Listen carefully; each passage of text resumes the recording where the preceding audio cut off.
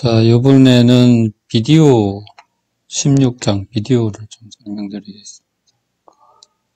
어, 여기 카메라를 사용하기 때문에 그 제 얼굴 캡처 화면은 생략하고 어, 프로그램 실행하면서 그 화면을 보여드리도록 하겠습니다. 어, 첫 번째 이그 샘플은 어, 카메라를 연결하는 example입니다. 어, 여기 있는 example을 가지고 어, 실행을 시켜보겠습니다. 그 Learning Processing chapter 16장 캡처 부분입니다. 어, 여기에 import가 어, processing video를 어, library를 사용을 합니다. 어, 여기를 하려면 add library에 가서 어, 요 video를 쳐서 어, 얘를 install 하시면 됩니다. 그리고 나서 그 비디오를 캡처하기 위해서는 capture class를 사용을 하면 됩니다. 이 capture class는 어, 여기에서 이미 구현해 놓은 겁니다. 어, 여기에 구현해 놓은 클래스를 저희가 사용을 하면 됩니다. 여기 비디오라는 것은 요 클래스에 저희가 사용할 변수명이고 어, 처음에 캡처 리스트를 프린트를 하게 됩니다. 창의 크기는 320240이고 그렇게 해서 320240의 카메라를 어, 새로 하나 생성을 하고 스타트를 한 다음에 그리고 이제 그 이벤트가 발생을 하면 캡처 이벤트가 발생을 하면 읽어드리고 그 이미지를 비디오를 어, 화면에다가 이렇게 이미지로 뿌려주게 됩니다. 자, 그러면 어, 여러분 카메라를 컴퓨터에 적절히 설치한 다음에 음, 얘를 실행을 시키면 어, 어 시간이 좀 걸립니다. 어, 좀 기다려서 어, 해보시면 예, 화면이 뜰 겁니다.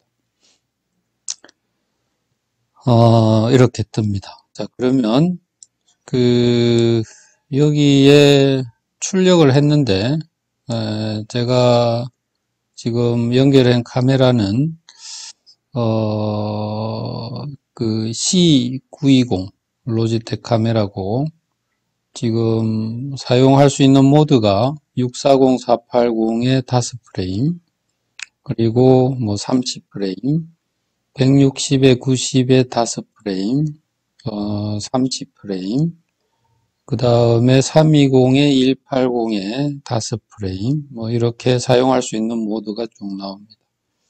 그래서 밑으로 쭉 내려가 보시면, 어, 1920에 1080까지, 1280에 720, 1024에 576, 어, 800에 600, 뭐 이런 모드들이 예, 여기서 적용을 합니다. 자 그러면 제가 사용한 모드는 지금 320에 240, 320, 240의 어, 모드를 지금 사용을 해서 어, 여기다가 뿌려주는 겁니다. 이해되시죠? 자, 그래서 손을 흔들면 이렇게 나옵니다. 자, 그러면 만약에 1280에 1280에 720 모드로 한번 해보고 어, 도대체 몇 프레임이 나오는지 한번 줄여 보겠습니다. 음, 이렇게 하면 지금 현재 frame rate가 아, 화면에 나옵니다. 음, 창의 크기도 어, 여기에 맞춰서 음, 키워주면 되겠죠.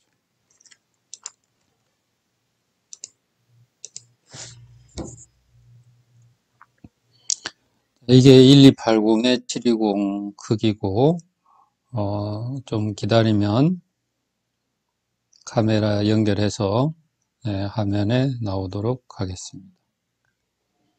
이 카메라의 레졸루션은 여러분 연결한 화면마다 다 다르니까 한번 보시면 됩니다.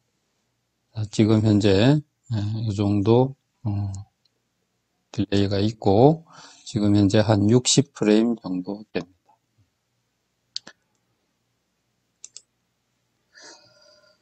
자, 요게 제일 기본적인 어, 그 카메라를 연결하는 어, 방법입니다. 자, 그 다음에 카메라를 연결을 한 다음에 어, 여기에 뭐 여러 가지 그, 그 사각형에 사용했던 어, 것을 여기다가 그대로 적용을 하시면 됩니다. 그래서, 어, 예를 들어서, 어, 이미지를 돌린다든지, 그리고 이미지 모드 바꾼다든지, translate 한다든지, 뭐, 틴트 한다든지, 이런 것들을 해볼 수가 있습니다. 자, 그러면, 음, 한번 실행을 시켜보겠습니다.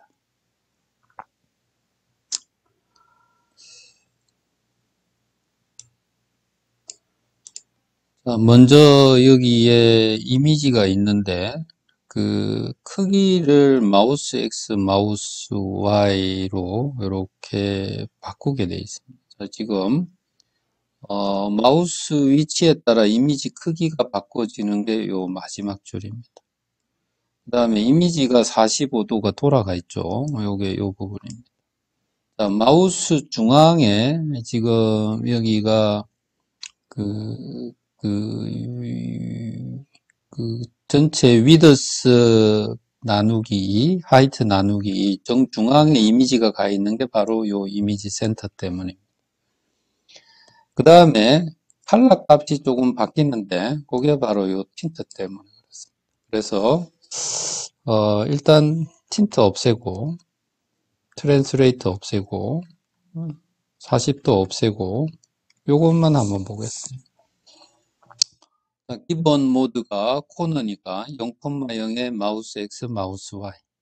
자, 그러면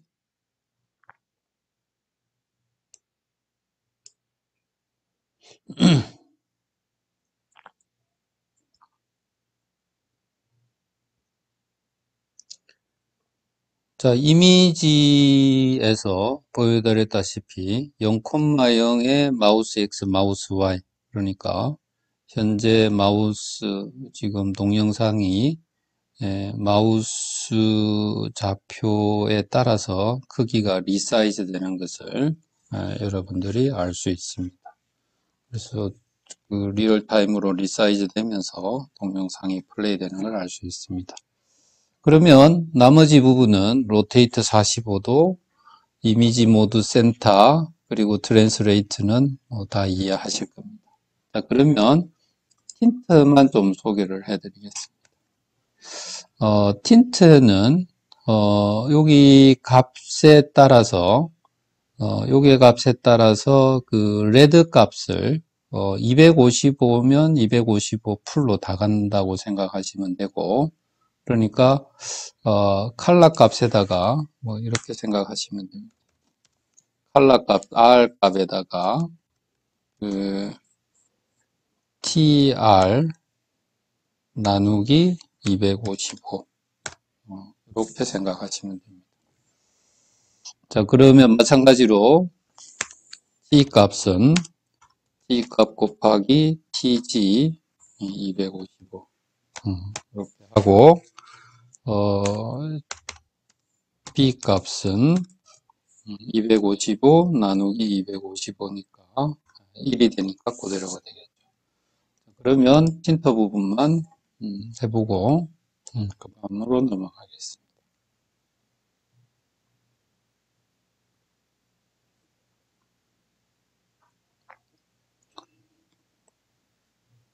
그리고 틴트 부분은 어디에 설명이 잘 되어 있는가 하면 자 보세요.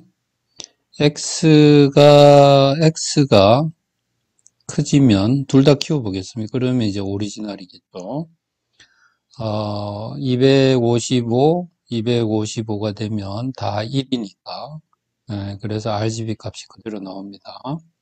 X 값이 줄어들면 X 값이 줄어들면 어, 이 부분을 없애고 하죠.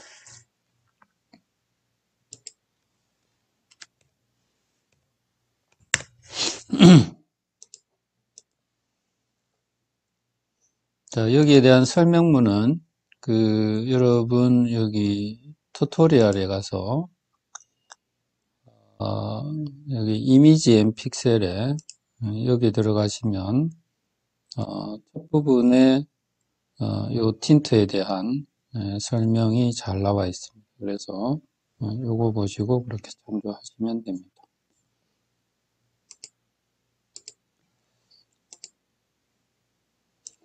자 보시면 어, x 값이 0이고 y 값이 커지면 지금 뭐가 없어지는가 하면 어, red 값이 없어진 거죠. red 값이 거의 0에 가까워졌으니까 red 값이 다 0이고 G하고 B 값만 커지는 겁니다. 자, 그러면 마찬가지로 어, Y 값도 적어지면 그러면 R 값하고 G 값이 다 없어지고 뭐만 살아남는가 하면 blue 값만 남게 되죠. X 값이 크시면 red 값하고 blue고 Y 값이 크시면 G하고 blue고 네, 그렇게 해서 어, tint로 이미지를 조작을 해 볼 수가 있습니다. 그 다음에 example은 그 이미지에서 해봤던 것을 에, 그냥 그, 그 비디오에다가 해보는 겁니다. 자 보시면 어, 마찬가지 320, 240으로 잡아서 어, read를 한 다음에 비디오 위드스 하이트의 RGB 값을 읽은 다음에 픽셀 값을 읽어 드리는 거죠. 읽어 드린 다음에 마우스 좌표하고 거리를 해서 어, 거리가 100까지를 4에서 0으로 바꾸는 겁니다. 그래서 제일 가까운 건 4가 되고 먼 것은 100 정도 되는 게 0이 되는 겁니다. 그렇게 한 다음에 RGB를 어, 요 Adjust Brightness를 곱하기를 하게 되죠. 그리고 나서 그 0하고 255로 클리핑 한 다음에 예, 그렇게 칼라 값을 바꾸는 겁니다. 그래서 보면 마우스 주변이 너무 하얗게 변하고 바깥은 까맣게 되는 거죠. 그래서 얘 너무 하얀 부분을 없애고 싶으면 예, 여기를 어, 1로 바꿔주면 예, 그러면 이제 예, 여기서 여기에서 조절을 해 볼 수가 있습니다.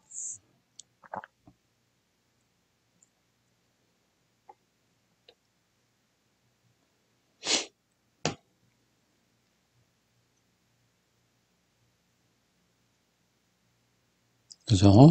음, 그래서 어, 그, 그 브라이트니스 값을 아까 4에서 1로 하면 이렇게 되고 이 반지름은 어, 100으로 이렇게 잡혀 있는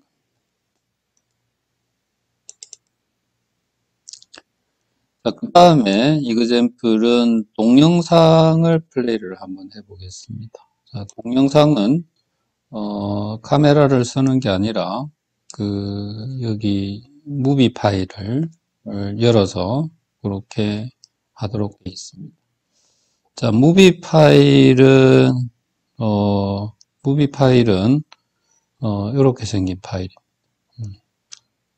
그래서 이 파일을 읽어 드린 다음에 에, 그리고 어, 루프 돌리고 read하고 그리고 어, 여기 예, 보여주고 그래서 어, 카메라 새로 하나 연결해서 그렇게 돌리는 거하고 똑같습니다.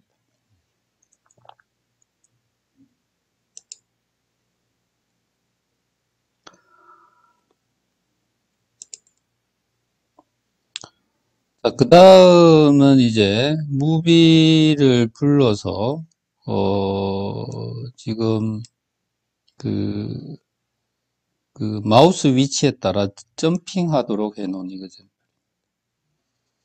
어, 얘도 한번 해보죠. 근데 그 뭐가 실행이 잘 안 됩니다. 자, 그래서 얘를 조금 한번 고쳐 보겠습니다. 어, 여기가 그 스타트 루프로 하고 음, 루프로 하고 그 다음에 음, 여기 무비 읽어드리고 그 다음에 이미지를 어, 이미지를 어, 읽어드렸으니까 디스플레이 하고 어, 그리고 그 마우스가 눌러졌을 때 마우스 눌러졌을 때 예, 바뀌도록 그렇게 하겠습니다. 음.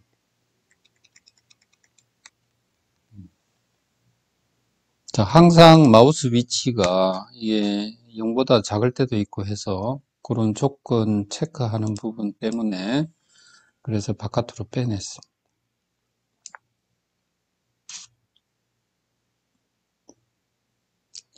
그래서 무비를 읽은 다음에 에, 루프를 돌고 어, 이벤트가 발생할 때 읽어 드리겠죠. 그리고 디스플레이 합니다.